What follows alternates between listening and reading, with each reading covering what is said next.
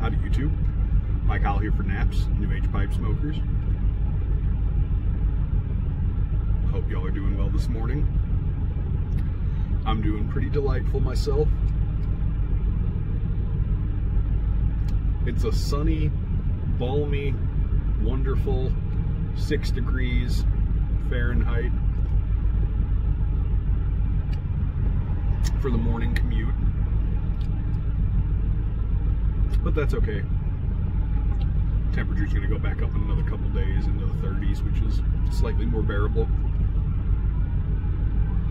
Smoking some uh, San which is one of my absolute favorite blends in the world. I wish they could make more of it, but that's another story. I'm smoking it out of this uh, uh, Caminetto, I think is how you pronounce the name. Um, I don't know what shape this is exactly called. It's a mustache pipe, which see the little mustache emblem on there. Uh, I don't even care what it's called. It's fucking amazing. I got this from uh, Mike Rizzo, Philly Piper, and uh, I didn't realize it because I'd never heard of this maker before, or really paid attention until after I bought it from him. That he gave me a fucking amazing deal on it. So thanks, buddy. I appreciate you.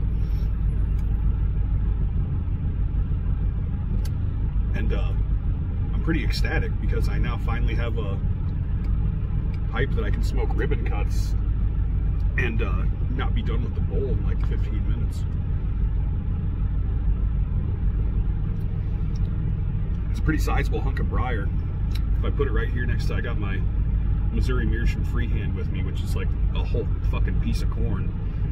If you put them next to each other, where you can see the stems line up and the draft holes line up, the uh, chamber depth is about the same, but the uh, Caminetto holds uh, at least twice the amount of tobacco because of the difference in the chamber shape. You can see that this is conical, it narrows as it goes down, whereas this is uh, the same depth all the way down. And if you look, the uh, the uh, corn cob is a little bit narrower, even at the top.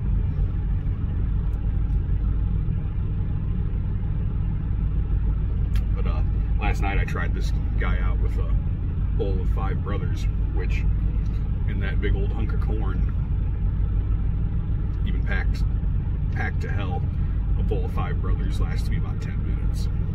And, uh, and this hit uh, I got a good 20 out of it. And I was smoking really fast because it was freezing outside, even in my smoke shack with the heater on. So that's pretty awesome. I've already been smoking on this bowl of Sansepolcro for about 15 minutes now, and I'm only just hitting the halfway point. Sansepolcro also being ribbon cut, although it's a little coarser. Five Brothers, it's a really thin shag. So that's really awesome. And I just love the way it looks too. It's got that little bit of a jut at the bottom, which is really cool. Just the perfect, like, I, I really love, this is like my favorite style of stem. Just like, I love my pipes to be that slight bend like this. I have a couple full bent ones that I like, a couple straight stems that I like, but that slight bend is my favorite.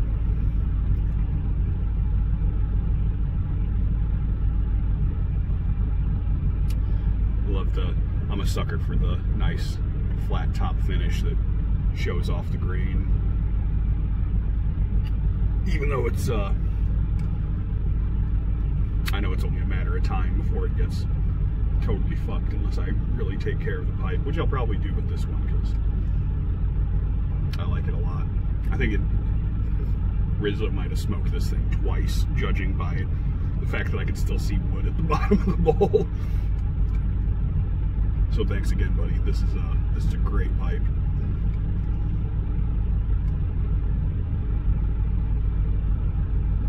I don't really have much else. I just wanted to show off this fantastic hunk of briar. As much as I love uh, love my Savinellis and stuff like that, you can feel the quality difference when you hold this in your hand. Um, like I said, nothing against my Savinellis. I love them, always will. But uh, this is a quality hunk of wood with some really fine craftsmanship behind it.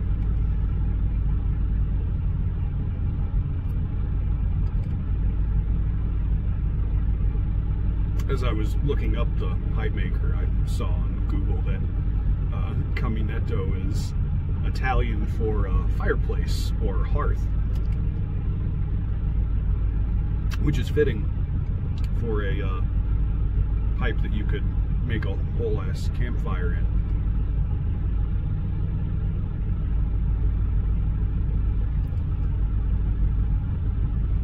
And the Sansepolcro is good too. I love it, just that that nice, like slightly citrusy. It's actually it seems very citrusy to me in Sansepolcro. Those Virginias just pop out, but then with that uh, with that fire cured cigar leaf, basically like dark fired made with cigar leaf. That just really sets it off to me. I know a lot of people don't like it. I've heard people, I've heard a lot of people who love it. I've heard other people say it tastes kind of ashy to them. I'm assuming that's the cigar, the fired cigar leaf. To me, it's absolutely divine. And even the tin note is just like so nice, smoky, and citrusy. I'm gonna have to go hunting for a couple more tins of this stuff soon. Only got a couple left. Actually, I think I'm. Yeah, I got a couple tins left. One day it'll all be gone, unfortunately. Uh, the uh, this particular leaf, the cigar leaf that they use, came from a cigar factory in Italy, which has since uh, stopped production, and that leaf is no longer available. Too bad. Luckily, there's many other amazing blends of tobacco to enjoy. But I'm gonna appreciate uh, every puff of this while I got it and while I can find it.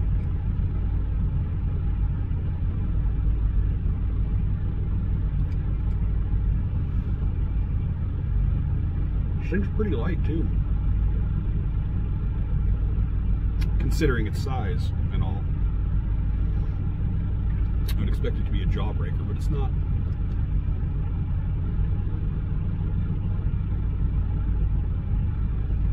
Well, I guess that's all I got today. I won't babble y'all's ear off anymore. I just wanted to show off this uh, beautiful pipe here. And uh, say thanks to Rizzo.